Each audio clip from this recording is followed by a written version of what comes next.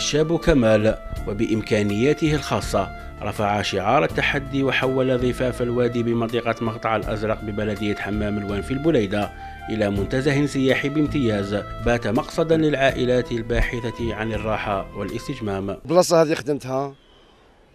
درت فيها رشاش درت فيها طوابل والحمد لله. عم يجوا ليها الغاشي من كل بلاصة من 48 ولاية.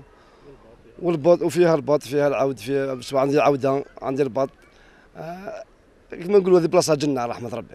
طيور البط والإوز طاولات وكراسي وسط الوادي هي إضافات جذبت أنظار الزوار الذين اعتبروا هذا الإنجاز هو إصرار من شاب أحب خدمة منطقته. بزاف شاب الله يبارك. آه، فيها البط فيها يعني سيكيوريتي لهنايا. يعني الله يبارك بلاصة بزاف شابة إن شاء الله. نشوف حمام الوان كانوا يحكيوا لي عليه بزاف.